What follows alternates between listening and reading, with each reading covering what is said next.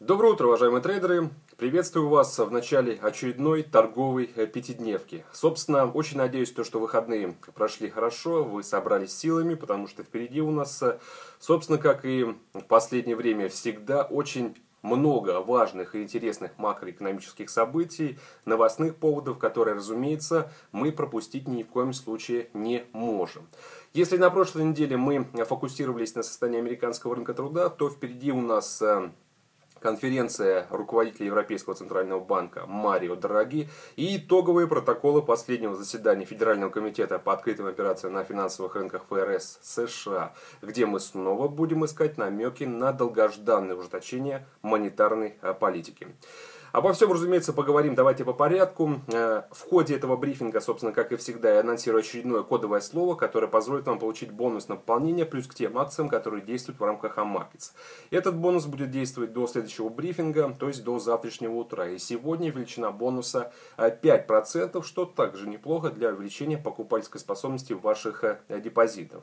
Также Хочу воспользоваться возможностью и пригласить вас сегодня на свой еженедельный вебинар «Правильный понедельник», который пройдет в 16.30 по московскому времени, где мы снова э, обратим внимание э, и пробежимся по основным фундаментальным событиям э, прошлой недели. Разумеется, разберем подробно основные, потому что, как я всегда повторяю, многие серьезные макроэкономические отчеты, статистические э, данные, они, как правило, а, обладают эффектом резонирующего влияния на динамику активов. То есть они сказываются в стоимости инструмента не только в моменте, но и если это такой э, скажем, фундаментальный основополагающий отчет, то он может, собственно, влиять на динамику ценового характера этого актива и дальше. Собственно, учитывая макроэкономические отчеты прошлой недели, я думаю, что у нас э, появилось несколько дополнительных таких э, движков для движений, и мы ни в коем случае не должны забывать про их присутствие на рынке, и, разумеется, строя, обозначая инвестиционные идеи э, касательно различных финансовых инструментов, представленных на рынках, мы должны руководствоваться общей, тотальной, фундаментальной картиной. Собственно, моя цель каждый день, разумеется, освещать актуальные новостные события, интересные, скажем, поводы, которые характерны для рынков, чтобы вы также были э, в курсе того, что же происходит, э, соответственно, в мировой экономике.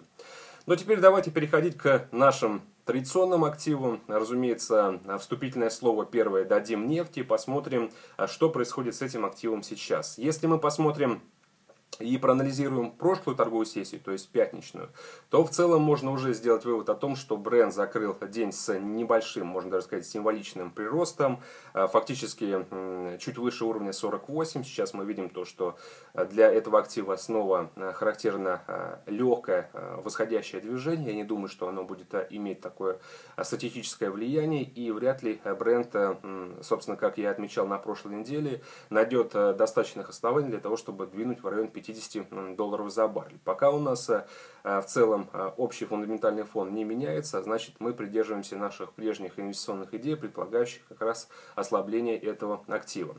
Если опять же э, посмотреть на экстремумы прошлой торговой сессии, в частности минимальный уровень, это даже недалеко от значения 47. Это наша ближайшая цель перед тем, как мы пойдем к Э, следующему ценовому ориентиру, который выставлен по этому активу в районе 45 долларов за бар. Я думаю, то, что возвращение э, черного золота к этому рубежу вопрос ближайшего времени. То есть все будет зависеть как раз от новостного фона, но э, я не думаю, то, что он в ближайшее время будет как-то располагать к возможному бычьему ралли.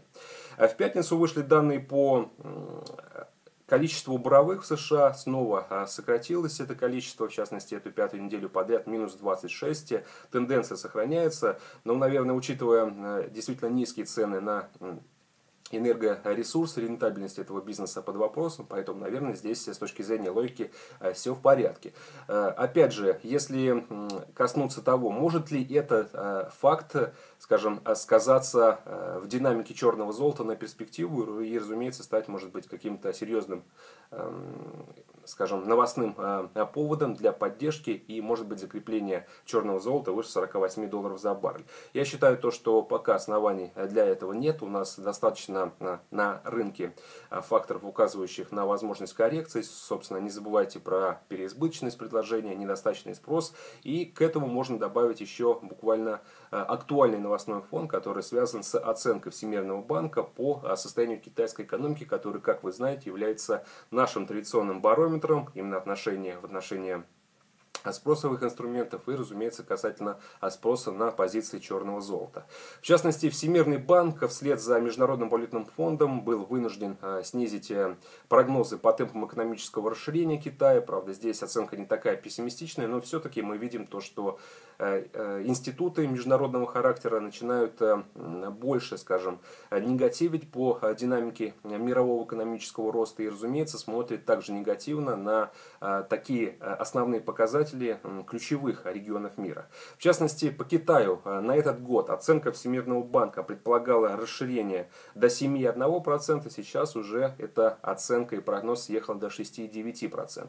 Что касается 2016 года, здесь также снижение, если раньше 6,9, 6 по-моему, процентов, если мне не изменяет память, то сейчас э, это значение уже э, пониже 6,7%. Напомню, что Международный валютный фонд предполагает возможность даже еще больше просадки до 6,3%. Но мы делали, по крайней мере я, исходя из своей субъективной оценки, опять же, адекватно оценивая текущие экономические реалии в рамках экономики Поднебесной, уже отметил то, что в 2016 году мы можем наблюдать э, очень жесткую э, посадку Китая и, может быть, снижение темпов экономического роста вплотную в район 6%, может быть, даже еще ниже. Особенно, если не удастся взять под контроль текущую слабую ситуацию с промышленным сектором, который традиционно является ключевым драйвером для темпов экономического расширения.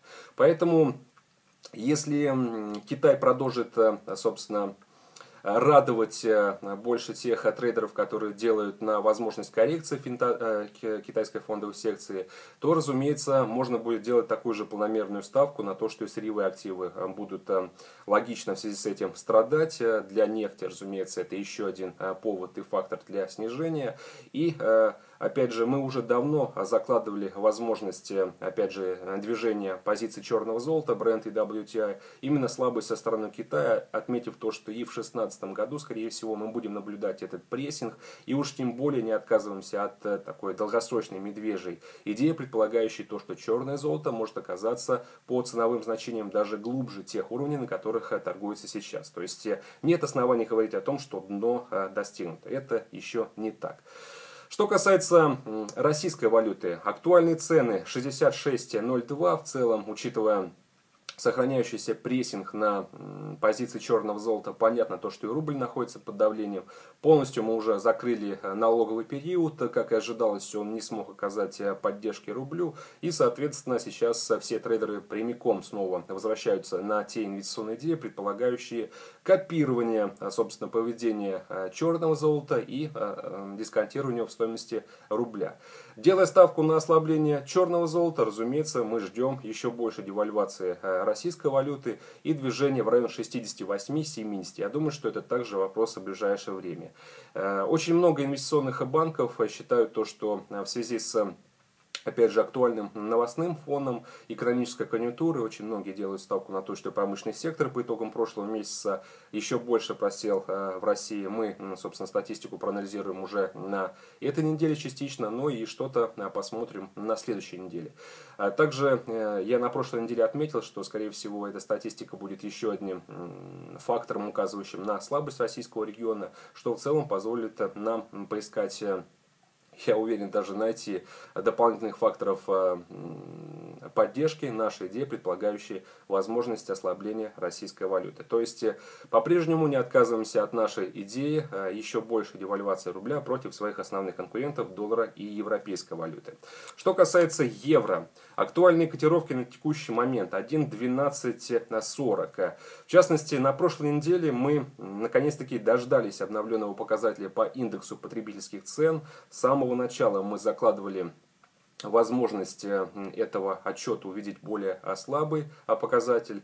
В целом наши ожидания подтвердились, действительно индекс потребительских цен продолжил снижаться. И судя по тому, что годовой показатель уже находится на отрицательной территории, значит можно смело заявлять то, что еврозона шагнула в дефляционную пропасть и эти риски теперь полностью характерны для этого региона. Хотя риски это уже неправильное слово, это уже реальность и действительность. Насколько глубокая будет эта дефляционная пропасть, э, покажет, конечно же, время, но сейчас мы видим то, что запущенная программа количественного смягчения, она никак не способствует тому, чтобы регион э, преодолевал эти угрозы. Напротив, если раньше полномерный индекс потребительских цен топтался рядом с нулевой территорией, сейчас он и вовсе ушел уже в красный отрицательный сектор. Логичный вывод в связи с этим, наверное, что-то нужно предпринимать для того, чтобы стимулировать экономику, и э, под этим, конечно же, также подразумеваются возможности более агрессивного выкупа активов со стороны Европейского Центрального банка. В частности, на этой неделе состоится конференция руководителей ЦБ Марио Драги. Учитывая то, что и в пятницу у нас э, появился еще один э, статистический сигнал Э, присутствующих, опять же, угроз со стороны дефляции, в частности, индекс цен производителей просел до минус 0,8%, это месячный отчет. Что касается годового, то здесь также отрицательные значения, минус 2,6%. Мне кажется, самый, скажем, худший показатель за последние много месяцев. Между прочим, это восьмое снижение подряд уже в этом году. Соответственно, еще один сигнал, указывающий на актуальные риски низкой инфляции. И еще один аргумент для того, чтобы ЕЦБ становился более решительным и, э, может быть, э, анонсировал наконец-таки то долгожданное решение, которое предполагает э, расширение программы количественного смягчения. То есть э, следим за конференцией Драги, она состоится буквально уже э, завтра. А может быть, опять же, учитывая актуальные цифры и актуальную статистику, Драги будет более разговорчивым и, соответственно, сможет снова перейти хотя бы к вербальным интервенциям касательно более агрессивного выкупа активов. Поэтому в любом случае, даже если просто просто будет э, упомянута возможность дополнительных действий со стороны Европейского Центрального Банка и не будут обозначены сроки, когда это произойдет, этого будет э, для нас достаточно, чтобы не отказываться от нашей идеи, предполагающей еще большее ослабление позиции главного валютного риска. Разумеется, если мы посмотрим пятничную торговую сессию, то европейская валюта буквально до данных по состоянию американского рынка труда после публикации а, слабого отчета по индексу цен производителей снижалась. И, а, в принципе, были все основания, особенно если бы вышли и сильные данные по американскому рынку труда, чтобы уже добраться до нашей ближайшей цели, которая находится в районе 1,10 по а, паре евро-доллар. Но, собственно, мы предполагаем, а рынок располагает, статистика не оказалась оказала поддержку доллару, напротив, а стала фактором разгрузки позиции этого защитного актива, что в целом стало еще одной причиной усиления позиции рисковых инструментов. Европейская валюта также с радостью воспользовалась локальной слабостью доллара. Хотя э, закрытие дня хай 1.1317, но закрытие евро-доллара, опять же, торговой сессии пятницы, мы наблюдали в районе 1.12, что в целом доказывает то, что на рынке присутствуют э, серьезные медведи в отношении евро, которые э, действительно э, предвкушают, опять же, более скажем, емкие экономические стимулы со стороны Европейского Центрального Банка, и, скорее всего, они должны произойти уже в самое ближайшее время. То есть пятничная динамика еще раз доказала нам а, тот факт, что в отношении пары евро-доллар не только американец является, скажем, доминантой и движущим активом. Есть еще и национальный макроэкономический фон, который мы анализируем практически каждую торговую сессию, и этот национальный фон создает больше оснований для э, долгосрочной такой стратегической коррекции главного валютного риска. Соответственно, делаем ставку, собственно, на нашу прежнюю идею, предполагающую ослабление пары евро-доллара, снижение в район 1,10 и э, следим за завтрашней конференцией Марио Драги, хотя э, в ходе нашего брифинга, который также состоится до этой конференции, мы еще раз коснемся э, этого новостного фона и если будут какие-то дополнительные сообщения по факту сегодняшней торговой сессии, я, разумеется, их вам анонсирую. Идем дальше. Доллар японская иена. Локальный минимум эм, В пятницу мы наблюдали рядом с уровнем 119, опять же, как я уже отметил, из-за выхода более слабых данных по американскому рынку труда доллар оказался в числе аутсайдеров, в частности, э, количество новых рабочих мест вместо прогноза 200 тысяч 142, э, уровень безработицы так остался на прежней отметке 5,1%, но, наверное, еще больше разочаровала трейдеров статистика по росту заработных плат, потому что фактически были надежды на то, что этот показатель покажет отличиться ростом, собственно, оттолкнется от э, нулевых значений, ну или, по крайней мере, приблизится к прошлой оценке 0,4%. Э, на самом деле роста мы не наблюдали, а значит э, многие трейдеры, которые, да и я, честно говоря, в их числе, делали ставку на то, что этот отчет сможет подстегнуть э, данные по индексу потребительских цен и, соответственно, снять угрозу низкой инфляции. Но этот отчет, собственно, сохранил прежние риски в отношении этого показателя. И, разумеется, сейчас часть трейдеров, которые полагали, что целевой показатель по инфляции может быть достигнут в более короткие периоды времени, то есть в 2%. А сейчас уже не так остро придерживаются этой идеи. Что касается американского рынка труда в целом, я считаю то, что объективно даже после этого отчета негативить не стоит, поскольку, э, опять же, повторять даже комментарии Булларда после этих отчетов, это всего лишь разовая статистика в рамках месяца. И в целом не нужно забывать о том, что последние полгода мы э, фиксировали, по сути, сплошной позитив в отношении этого сектора. И, разумеется, он создает достаточно оснований, чтобы долгосрочно также верить в то, что это направление экономики чувствует себя очень неплохо, создаются все предпосылки для дальнейшего восстановления. И э, в целом показатели по уровню безработицы в 5,1% уже указывают на то, что действительно позитив характерен, потому что целевой показатель э, будет достигнут, может быть, уже через месяц-два. Поэтому Э, опять же, пятничная динамика пары доллар-японская иена, несмотря на э, серьезную коррекцию до 119, соответственно, йен за доллар, и последующее восстановление указывает на то, что и доллар также особенно не торопится, скажем, разгружать собственную стоимость, потому что прекрасно понимает, что в целом долгосрочная картина ничуть не изменилась. У нас главное событие, оно остается на повестке обсуждений и повестке, по сути, может быть, даже этого месяца, это возможность повышения процентной ставки. Судя по по э, комментариям представителей ФРС, э, Дадли, Локарда, Лейкера, э, Фишерда. В целом у нас серьезное, скажем, такое объединение реально голосующих членов, которые могут создать неплохой союз в плане своей оценки фактического голосования за повышение процентной ставки и нормализации денежно-кредитного курса.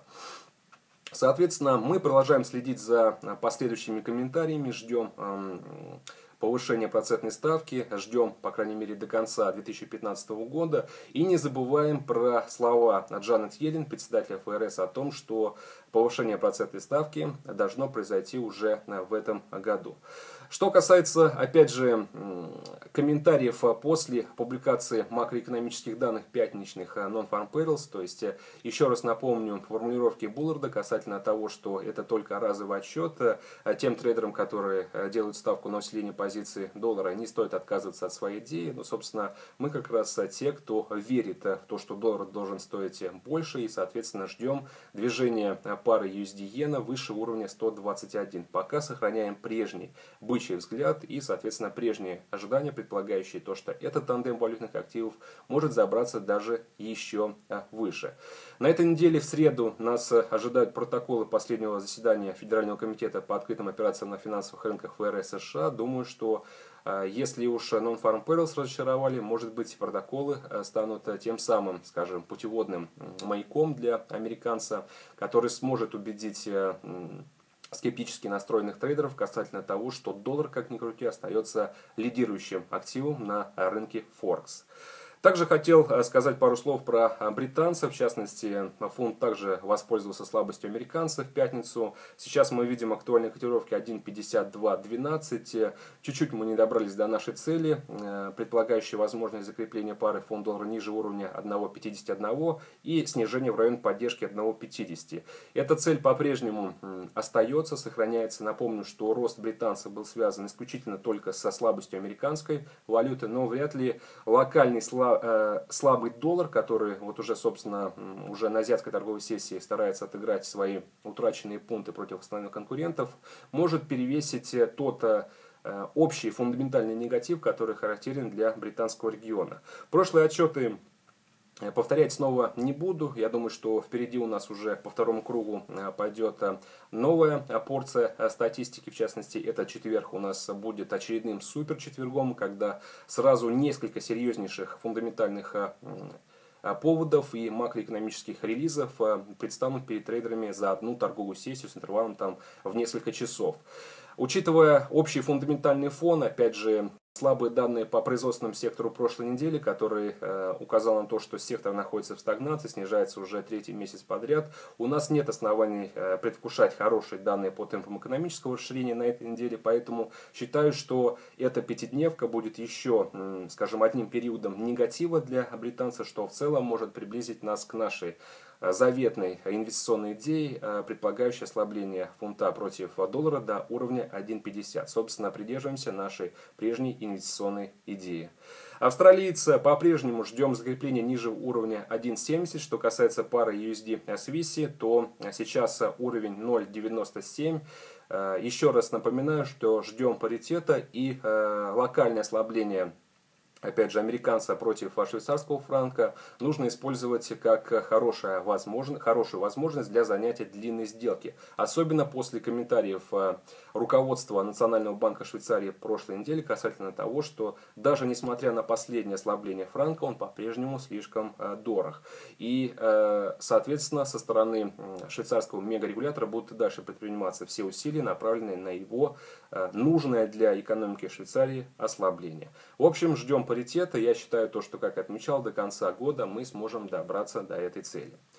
Что касается э, сегодняшнего кодового слова, то это Эверест, величина бонуса 5%. Э, и если есть, конечно же, вопросы, оставляйте их на нашем официальном канале на YouTube. Увидимся завтра. Всего доброго, до свидания.